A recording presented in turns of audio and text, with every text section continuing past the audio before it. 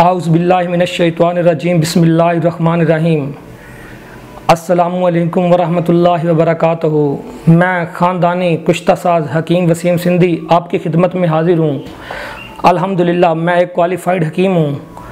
National council for तिब से registered शुदा हूँ।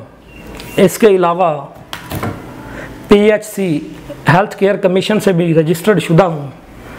अल्हम्दुलिल्लाह, हम तमाम अमराज का इलाज कुश्ता और जड़ी बूटियों से करते हैं तो मेरे दोस्तों, जिसको भी मर्दाना कमज़ोरी का मसला हो, मर्दाना टाइमिंग का मसला हो, हम बिस्तरी करते वक्त जल्द अनजाल हो जाता हो, आज़ाद तनासुल में सख्ती ना हो, शुगर की वजह से मर्दाना कमज़ोरी हो टाइमिंग बिल्कुल सिफर हो जरासीम कम हो जरासीम ना बनते हों, मसाना की गर्मी, जिगर की गर्मी, पट्ठों की कमज़ोरी मसल्स की कमज़ोरी, जरियान, इतलाम सरत अनजाल इसके अलावा औरतों के तमाम पुशीदा अमराज का इलाज तसली बख्श किया जाता है।